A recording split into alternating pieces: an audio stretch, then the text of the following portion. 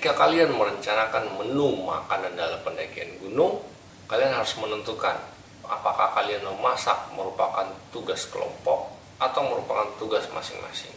Tugas kelompok atau tugas masing-masing, dua teknik pendekatan berikut dalam merencanakan menu makanan bekerja sama baiknya.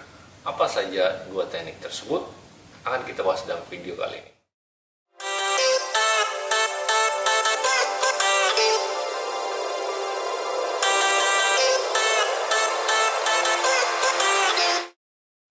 Saya Sakti Sitindaun, kembali lagi di channel.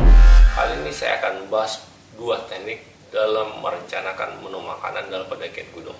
Merencanakan menu pendakian gunung, baik memasak itu merupakan tugas kelompok atau tugas masing-masing, dua teknik berikut dapat kalian gunakan. Yang pertama, merencanakan dengan menu per menu atau menu by menu. Menu by menu. Oke, jadi yang dimaksud adalah kita merencanakan pagi kita makan ini, siang makan ini, malam makan ini. Jadi setiap waktu kita tentukan kita mau makan apa, malam makan apa, tehnya makan apa atau minum kopi. Jadi itu kita tentukan menu per menu dalam setiap pendakian di setiap harinya, di setiap waktunya kita tentukan mau makan apa saja.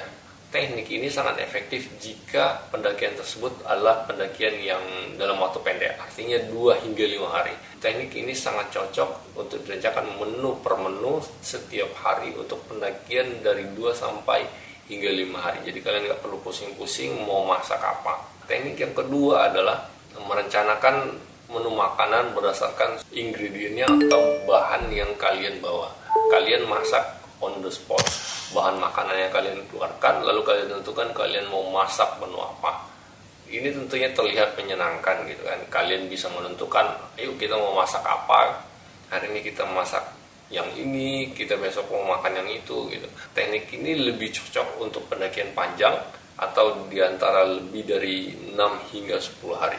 Ketika kita memasak on the spot itu akan membutuhkan kreativitas. Dan ketika pendakian panjang hal itu sangat memboosting moral kita. Artinya kita nggak bosan karena pendakian itu panjang. Jadi dengan menu-menu yang berubah setiap hari dengan kreativitas ah masak ini dengan keluasan seperti itu itu akan memboosting moral kita dalam pendakian panjang. Teknik ini sangat cocok gitu memasak on the spot jadi berdasarkan mood kita berdasarkan bahan makanan yang ada teknik ini cocok sekali untuk boosting moral dalam pendakian panjang lebih dari hingga tujuh hari. Teknik mana yang paling kalian suka? Menu per menu atau berdasarkan ingredient atau bahan makanan yang kalian bawa? Komentar di bawah di kita diskusi. Jangan lupa tentunya terakhir. Jangan lupa like, comment, dan subscribe. Sampai jumpa di video berikutnya.